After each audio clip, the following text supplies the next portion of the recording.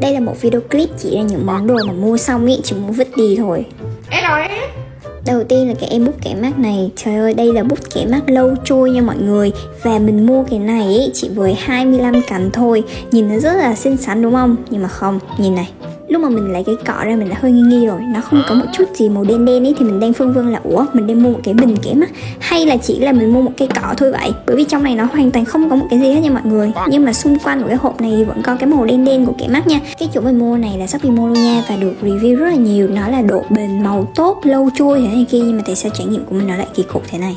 Và thế là mình lại phải vòng về cái ebook kẻ mắt quen thuộc của mình. Mình rất là thích kẻ mắt màu nâu nha, bởi vì nhìn là tự nhiên ấy. Và những bạn nào mà kẻ mắt không khéo thì mình có lựa cái cây nào mà kiểu cái đầu nó nhỏ nhỏ manh mảnh là ok Đến chính lại chút xíu với mọi người là tôi đã tìm ra được cái chỗ mà để mực rồi nè Nó ở cái chỗ dưới đích của cái chai này á Nhưng mà mọi người biết sao không? Nó bị khô Thật ra mình cũng không biết cái này là dạng gel hay là dạng sáp Nhưng mà dù dạng gì thì nó cũng rất là khô và rất là khó để có thể kẻ Thì mình không biết là do vận chuyển quá lâu hay là như thế nào Nhưng mà có ai biết cách làm cho cái gel này nó không bị khô không?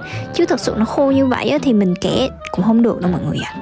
Thứ hai là cái mã hồng kia này mọi người nhìn nó buồn cười cực Thật ra thì nó cũng không đến nỗi quá đáng nhưng mà cái màu mình mua và cái màu mà mình thử ra tay nó hoàn toàn khác nhau luôn. Mình lựa chọn màu số 9 nó là Baby Power ấy, nhưng mà lúc mình thử ra tay nó lại hơi màu tím tím Kiểu hồng cánh sen mà tím tím ấy. Trời ơi, mình không biết là phù hợp với cái layout make như thế nào luôn á. Nhưng mà được một cái là em này nó cũng thơm với lại dễ tán cho nên mấy bạn lựa màu cẩn thận nha, đừng có sai màu như mình. Chưa hết đâu còn nữa nè mọi người, cái thứ ba nha. Một cái cây mascara nó có hai đầu làm dài mi và làm dày mi nha. Trời ơi, rất là thú vị luôn nè mọi người nhìn này. Lúc mà mình thấy quảng cáo mình cũng thấy hay phết ý. Điều mà mình thất vọng về em này là nó bị đặc với lại nó bị phóng cục tè lè ra mọi người rất là khó để có thể chút mi một cách gọn gàng. Bởi vì nếu như mà cái chút nó cứ như thế này ý, thì kiểu gì nó cũng bị lem thôi. Cho mọi người xem cận cảnh nha. Nó cứ đặc đặc lỏng lỏng.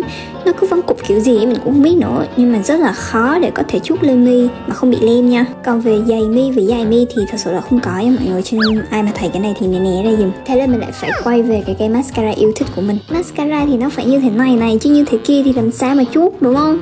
Và cái thứ tư này mình thấy nhiều bạn mua lắm luôn á, nhưng mà cái hiệu quả của nó thì mình nói thật là nó không có hiệu quả gì đâu. Đây, mình sẽ dùng cushion và đánh lên da của mình nhé sau đấy thì mình sẽ xịt cái em lớp khóa trang điểm này lại. Thì quảng cáo nó là xịt vào nó sẽ không bị trôi cái lớp trang điểm của mình đi, dù cho mình đeo khẩu trang hay là mình thấm mồ hôi cái thứ nó cũng không bị chóc phấn, chóc này nọ đấy. Nhưng mà thật sự nha khi mà mình xịt vào và mình để khô rồi và mình thấm nha nó vẫn ra như bình thường luôn mọi người ạ. À. nó không có bị, gọi là giữ nguyên lớp nền hay cái gì hết này mọi người thấy không? Cho nên mình cảm thấy cái chai này thật sự là rất là vô hiệu quả ấy mọi người. Đấy thì thường thường mọi người sẽ thấy mình hay review bảo mọi người là nên mua cái này nên mua cái kia.